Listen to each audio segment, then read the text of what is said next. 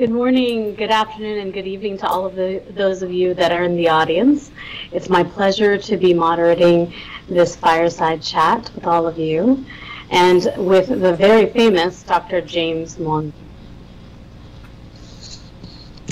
Um, for those of you that don't know Dr. J uh, Dr. James Mwangi, uh, I don't know who doesn't know about Dr. James Mwangi, but he is the group managing director and CEO of Equity Group Holdings. He's the executive chairman of the Equity Group Foundation. He is one of Africa's most renowned thought leaders, a disruptive entrepreneur and philanthropist. And as a champion of social economic transformation, James believes that individuals and societies have the potential to solve their socioeconomic challenges if they're given opportunity and access to resources. Um, I have a whole huge bio of Dr. Mwangi, but I feel that he's kind of famous. And one of the reasons that I said yes to being moderator of this session was the opportunity to have a chat with Dr. Mwangi, who's quite famous in the digital finance space. I've been working in digital finance for more than a decade now. I've been working on building inclusive digital economies in Africa, Asia, and the Pacific. And, and Dr. Mwangi and Equity Bank are synonymous with innovation, are synonymous with the ability for a bank to leverage its um, its institutional qualities while still being agile, which not every bank uh, is able to do. Not many banks are able to do in uh, in, in, pretty much the world.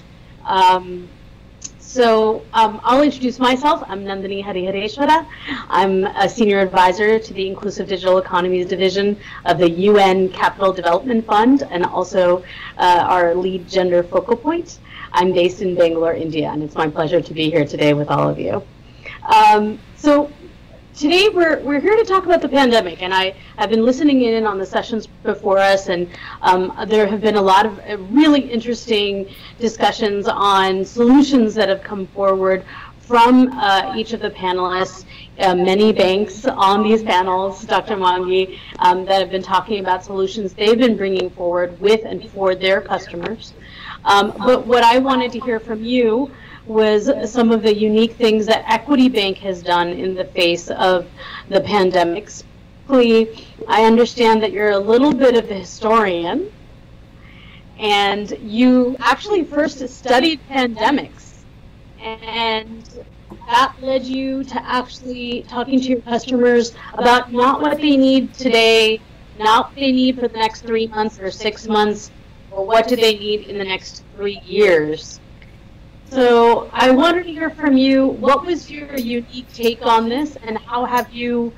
Um, what what actions have you taken as Equity Bank to um, act on the pandemic? Uh, thank you very much, Nadine, for having me. And we could uh, focus uh, on uh, the issue of uh, health was uh, a humanitarian challenge. We felt that um, at least uh, lives and life, but the mechanism of dealing with the pandemic were the most challenging because uh, they caused dis disruptions uh, in the uh, in value chains. Uh, they caused uh, disruptions in um, the economic uh, environment, and businesses that uh, were doing well before. Most of them ended up shut, uh, shutting down. When we analyzed equity customers, we expected 45% of all our customers would have challenges because uh, of uh, coping uh, or government um, policies of managing COVID, like shutdown of some sectors, shutdown of airspace, shutdown of some cities, uh, essentially meant that uh, businesses had to be closed. And essentially that's where we asked ourselves, uh, banking is no longer uh, the banking we knew. The customers' cash flow has been disrupted, they have drained out, and those were the cash flows like Brad maintains the body of enterprises. We also recognize that those who had borrowed will no longer be able to maintain uh, their uh, repayment uh, track record because they had no cash flows. And essentially, we felt the best we could do uh, was to accommodate them for the period that we expected that they would be affected. And when we categorized the sectors, the aviation sector, the hotel and tourism industry, we felt that those would be affected for up to four years, between three and four years. That's when they would be able to recover their cash flows. They would be the laggards uh, in terms of uh, recovery. We also felt that the private education, the schools would take a year, and truly the schools were closed for nine months. And when schools were closed for nine months, then there are no students in school, there is no cash flow. And essentially, we accommodated the schools for one year uh, to ensure we can only demand from them repayments uh, when they open uh, schools and start uh, getting school fees. Uh, and that went on with restaurants, went up uh, with real estate, those who were in construction, that accommodation. The objective of that was principally to support lives and livelihoods. We knew families, employees depended on performance of businesses. And essentially, we felt that uh, we had a moral obligation uh, to play our role, ensuring we don't disrupt the social order and the economic order of households. At the same time, we also felt that um, it was essential that we don't cause a systemic risk to an economy. We control uh, 68% of all our borrowers are enterprises, and we felt that we needed to keep the rights of the economy on uh, because it's the economy that provides opportunities. At the same time, we felt we needed to uh, help businesses that we uh, wanted uh, to repurpose their enterprises, their businesses to new opportunities. Uh, because the economy was reallocating resources like uh, in the manufacture of PPEs, food, and vegetables. We felt those were new offshoots in the economy and we needed to uh, support them with credit. So that is how we dealt uh, with both um, an aggression approach of supporting those who were to keep the economic opportunities alive and a defensive one of saving businesses, lives, and livelihoods. But at the same time, we felt we could act as a catalyst uh, to ensure community and our customers generally adopted the uh, health protocols of coping with uh, uh, COVID. And essentially, we felt that uh, to get customers to work from home, we needed to accelerate our digital platform. And I'm glad, looking back, we now have 98% of all transactions happening online. Uh, and essentially, to, ha- to do that, we had to give incentives. And we agreed with the Central Bank of Kenya's proposal that we waive all mobile charges so that it becomes free.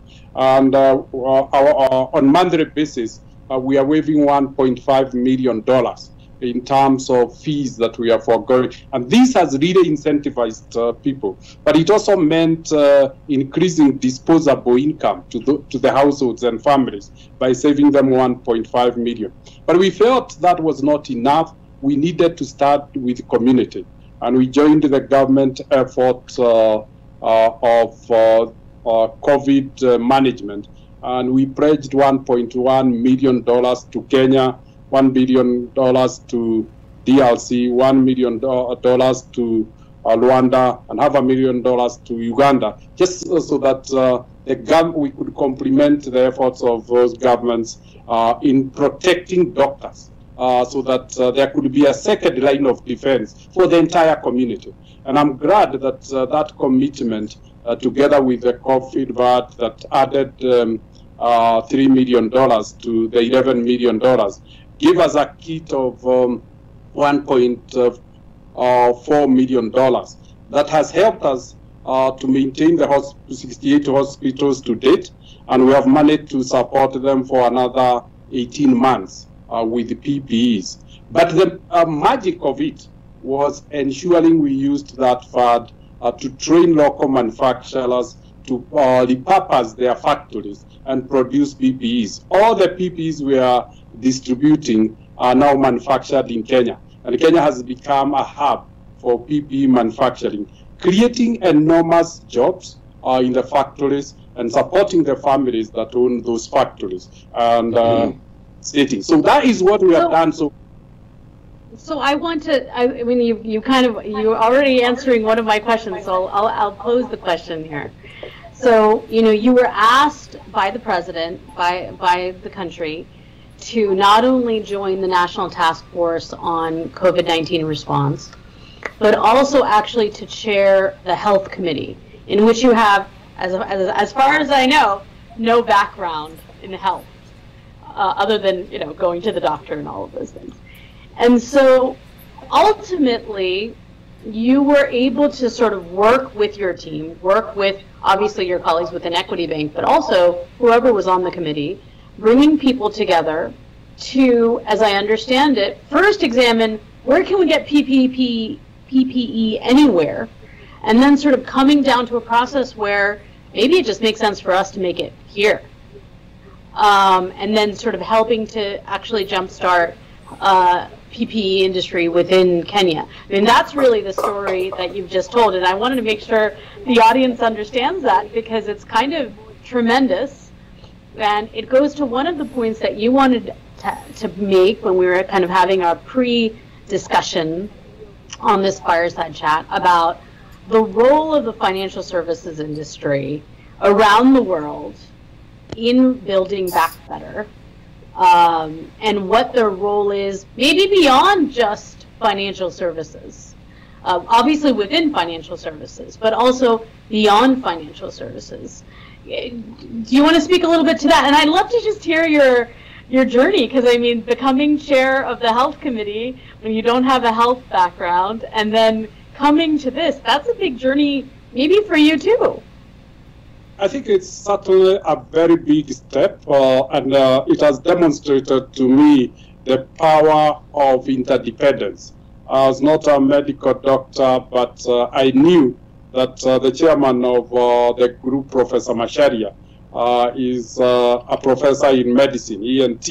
I knew my colleague, Joan Kolil, who heads Equity Afya and supervises quality of delivery is a medical doctor. And I called on them and said, here is a challenge I've been given. How do I go around it? And the advice was, uh, why don't we constitute an advisory committee? And quickly, they picked up the chair of the Nurses Association, uh, the Clinical Officers Association, the Practicing Medical Association, and they picked also a director from the Ministry of Health. And I went back to, with the names to the board and said, you have given me the mandate of uh, chairing the health committee. Allow me uh, to nominate this uh, team uh, as our advisors. And that is how eventually. So essentially, what did we bring? Uh, I, I was with my colleagues, uh, the bankers, what we call it the team of rivals. Equity Bank, KCB, Safaricom, Absa Bank, those are really, we compete. And essentially, uh, then we said we are entrepreneurs, uh, we are good managers. If we get the doctors to bring their knowledge, uh, we'll have an intersection between capital, we, call, we have $1.4 billion, dollars. we have entrepreneurship skills, uh, we have a member of the board who is the uh, chief executive of Kenya Association of Manufacturers who mobilize the manuf uh, manufacturers for us, but the doctors who do the specification and supervision, and it's for them as the users who tick uh, when the quality. So it brought out the issue of collaboration, but more importantly about partnership between the private sector and the government. And uh, as you can see, we have taken the responsibility of supplying PPEs uh, from the government to public hospitals for a period of at least uh, uh, two years. So uh, that partnership and collaboration has allowed the best knowledge and capability, oversight uh, to work together. And it has taught me a lot of lessons about collaborations and partnerships. And particularly what you said, uh, uh, the disruption of international value chains or global value chains taught us also a lesson about the resilience of economies, uh, the uh, resilience of economies to support lives and livelihoods. And I hope, hopefully, the fact that Kenya has now become a major exporter of PPEs to Europe and America and across the region tells us how maybe we could develop uh, economies out of necessity, identifying and converting one sector at a time. Yeah, I mean, that's an amazing sort of uh, sh- uh, a success story and sort of um, like light at the end of the tunnel kind of story, right? In, in, in a year that's been a very difficult year for so many people uh, especially those that are sort of the poorest of the poor. And so you were talking a lot about community. This is something that's close to your heart. You, have been talking. You, one of the um, advocacy points you've been having and want to make is the advocacy point to your fellow bankers, to your fellow uh, individuals in the financial services industry that it's more than just profits and it's more than just extending um, terms and loans and, and, and other kinds of financial services, but it's also about giving back to the community and dividends to the community. And so the other point that you've made that's that's very important, not just in Kenya, but everywhere, is digital has become prime, right? Given COVID 19, the growth of the importance of digital has been, um, you know, un- unimaginable. Um, and so I wonder if you can speak to what's easy and what's hard about that, especially when you're trying to serve the really hard to reach communities, right? The folks at the last mile, the people at the least dense populations that still need uh, financial services, still need them just as much as everybody else. Um, I wonder if you can speak a little bit to that and how equity handled that, sol- that those challenges during this difficult time. Uh, COVID has exposed uh, particularly the digital divide and exclusion of majority of the people. As uh, we said uh, lightly, uh, when Equity uh, launched its digital platform, online banking, we realized those who didn't have smartphones were struggling to download the apps.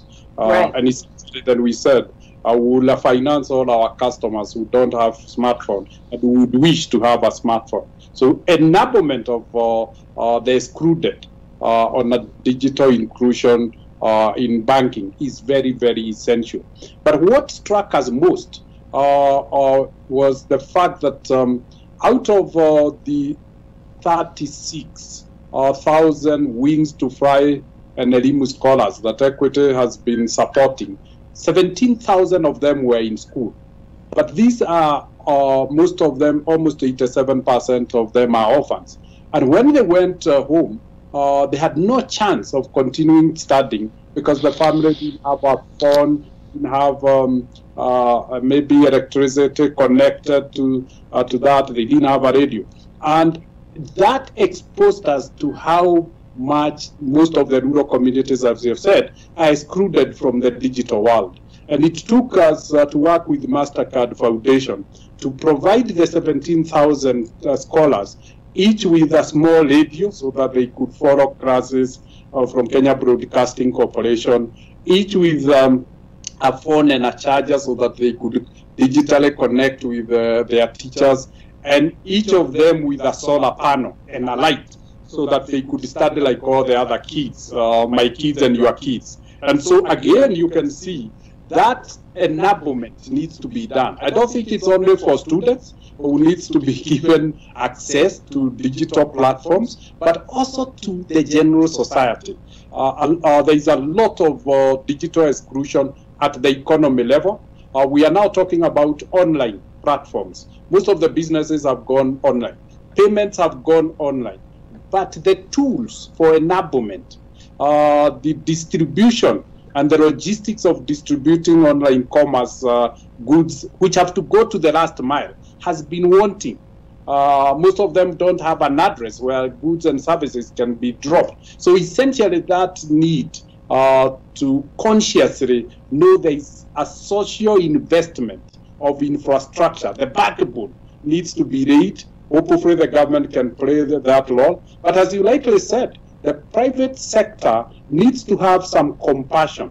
Maybe give capitalism a face and a soul and a heart so that it is head, mind, and heart uh, in really bridging that gap. Because the next really uh, creator of disparities and inequality in the world is uh, digital access.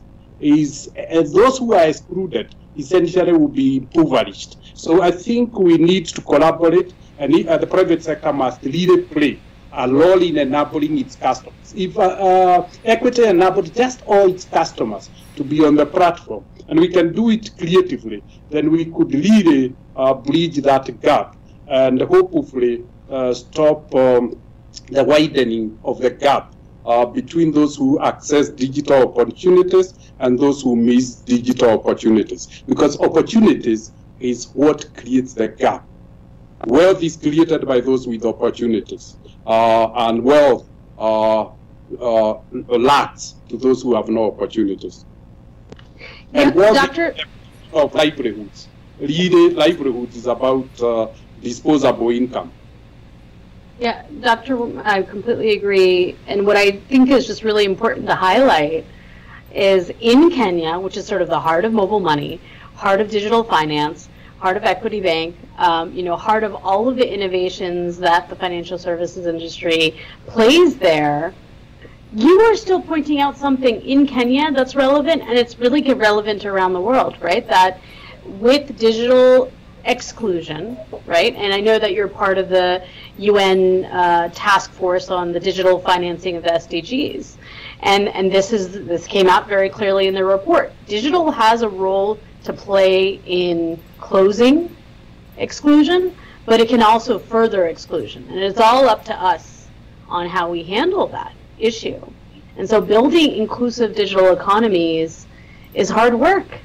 And it's still a challenge um, even given all of the work that you have done, that the industry has done, that the government has done in Kenya, which is sort of the heart of digital in many people's minds, um, and, and it really reflects a challenge that so many others face. So we're looking, hopefully, post-vaccine world. I'm getting I'm getting, uh, when I read the US papers, when I read the Indian papers, when I read other papers, you know, uh, some of the headlines are around vaccines, right? So we know vaccines are coming. We're hoping in a post vaccine world, we're really going to be focused on building back better. That's something that you said. So, how do we use digital to leapfrog economic development, especially for MSMEs, and then maybe especially for women MSMEs? I know women are uh, part of the heart of uh, the inclusive growth strategy of Equity Bank. So I wonder if you can speak to that as well. Yes, uh, COVID has exposed uh, uh, the part of the world that is not working. And that is why we need not just rebuild the world, but we need to build it better. We need to rethink and say we don't want a world with uh, widespread inequalities. We don't want a world where opportunities are not fairly and evenly distributed. There should be fairness and justice uh, in distribution of opportunities. We need a world uh, that is more resilient, uh, such that uh, we don't get uh, a complete breakdown uh, because of a medical state, and the world is held as hostage by a pandemic. So essentially, that transformation of building better, I think, needs not to be on the legacy rails. Uh, the legacy rails have led us to where we are. We need to leapfrog on new knowledge and new thinking. And the easiest way is not uh, to go back to the legacy systems. We can uh, leverage and leapfrog on uh, fintech capabilities, innovations on the digital space to ensure easy access uh, by all. The good thing with the digital world is that uh, it, it is easily accessible and uh, fairly affordable to all. And uh, I think uh, the fintech capabilities and digital capability, online, uh, virtual uh, world, can help us avoid the massive capital that it, it was required in the previous um, order of legacy systems. Um, and essentially, the digital world opens and breaks the barriers and walls uh, that uh, keeps on uh, one of physical distance and on geography for that matter, uh, the uh, the time as a uh, as a divide and as a barrier. All those are eliminated by a digital world. Uh, equal opportunities across the world simultaneously. So leveraging on that, and given that uh, a continent like, like Africa with a mean age of 18 years, that population has been born and brought up in a digital era. So embracing and using digital uh, uh, tools uh, will be very easy for them. And they can leapfrog that and build innovations on top of that, uh, use fintech capabilities as, as of old uh, models, and maybe leapfrog in building business models. Business models that are not capital intensive, they are not built on the traditional uh, old models uh, that are very intensive in capital. The, we are talking about going to uh, the fourth industrial revolution that is knowledge based to a great extent. It's technology uh, driven. We're talking of big data. We're talking of um, an artificial intelligence, analytics capability, machine learning. That would then give young people who may not have the massive capital that was required in the previous old uh, economic and world order an opportunity uh, to leapfrog. And we have seen that uh, with uh, the big techs. The, all of them were originated and founded by people who were under 30, who didn't need the massive capital. And essentially, the knowledge and the capital will then meet and bring together young people with knowledge and uh, older citizens or senior citizens with, with capital together and hopefully share the benefits of development across uh, uh, the world based on knowledge and ba uh, based on capital access. Um, thank you for that. And I, I completely agree. I think digital finance, Marian from Kenya asked a similar question to what I just asked, which is what role would digital financial services play, especially in the recovery of SMEs post-COVID? as they are the most affected with loss of income and business losses, which I think you've answered, sort of, right? The role of AI, the role of big data, the role of data analytics, right? You being able to use a transaction history in order to determine credit risk, um, being able to issue loans fast, right, and recover from those loans fast, being able to offer different kinds of financial products. Those seem to be all um, in the playbook of not of Equity Bank and other banks that I've, I've sort, of, sort of seen on the panel discussions today. Um, you know, artificial intelligence as well. Uh, you know, kind of playing that role in trying to determine risk and trying to really increase the speed with which products can be uh, deployed and, and funds can be deployed to customers, as well as um, sort of new products that really can innovate and, and help uh, with this recovery. So uh, yeah, I think that's very much in line with what other others are seeing as well. Are there uh, is there anything else you would want to add to that, Dr. Mwangi? yeah, I think uh, through the um, uh, digitization, uh, the fintech capabilities will truly transform banking. Uh, to us, equity is no longer the place you go to. The branch has very little role. It only had those 2% of our customers. 98% uh, of customer transactions are happening on our digital platforms. Banking is what you do on your devices. Payments uh, are now being an enablers of lifestyle. It's no longer about checks, it's digital payments, uh, it's online payments. So again, uh, it's pay as you move, consume, pay as you go, and geography and time are no longer relevant. We have been able to compress geography and time such that banking is wherever you are, whatever time uh, you want to consume. And that is the driver of banking. The most important thing is that because we have moved from brick and mortar, we have moved from fixed cost infrastructure to variable cost infrastructure. Uh, and more importantly, that variable cost infrastructure is for third parties. So essentially, banking is going to now follow a model of uh, shared prosperity. It's the agents who are doing the transactions. It's third party merchants that are completing transactions. It is algorithms and agents uh, and AI capabilities of um, innovators that are supporting banks to make the decisions. So essentially, uh, banking has embraced an open system uh, where capabilities are brought in and then banks just organize and create a brand. And essentially, then the cost of banking is reduced substantially uh, from uh, the cost of branches and cash management, CIT, that we all know about it, counting cash, manual jobs in the branches, all that is eliminated. The consequently, the benefits are to the customer. Banking will be completely uh, affordable, but more importantly, conveniently accessible wherever you are, whatever time.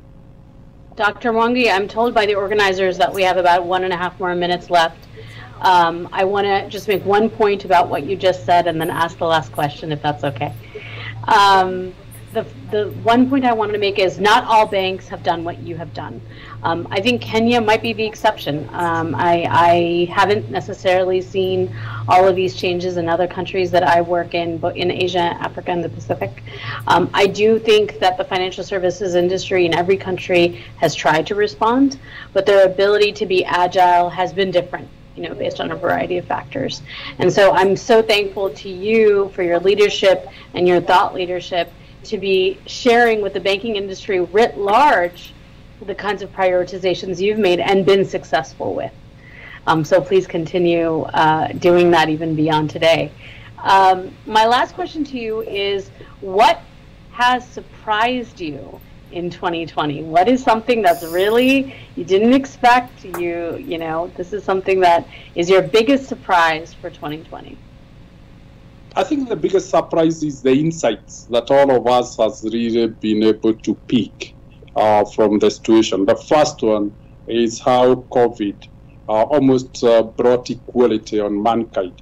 It disregarded status, it disregarded class, it disregarded race, and uh, almost uh, brought us to the same level of concern only about our health. Uh, it has really exposed maybe um, how much society needs to value uh, uh, social assets. And social assets, I mean something like health. You could see uh, essentially for those who uh, have very low incomes, uh, they have gone through massive devastation. So the investment on uh, social assets, and I mean health and education, should be basic. And maybe the insight is that we need to rethink uh, how we categorize health and education as investment. We've always categorized them as social investment, but I think they may not be a social investment. Their funding mechanism may not be right because the suffering of the majority has been exposed. Uh, the I don't think since uh, maybe a hundred years we haven't seen the suffering of humanity the way we have seen it uh, this way. We talk of uh, nearly 200 million people in uh, uh, in Africa are sliding to abject poverty because of a health pandemic. And again, again, the system has not held up. We have seen, and it's not in Kenya, it's not in Africa, every country has been challenged, including the superpowers like the US. Uh, so the issue of uh, uh, social investment I think has been brought to front. It has surprised me uh, that we can have all the capital investment we had. Capitalism would be thriving, and it's brought to a halt uh, because it never took care uh, of the larger society's interest. Uh, and uh, that, to me, is the biggest lesson that uh, even capitalism has its limits and its application. Thank you very much, Dr. Mwangi, for this fascinating conversation. I know I learned a lot. I hope everyone in the audience has learned as much as I have or more. Um, we are delighted to give it back to the hosts uh, to continue this conversation as part of the Singapore FinTech Festival.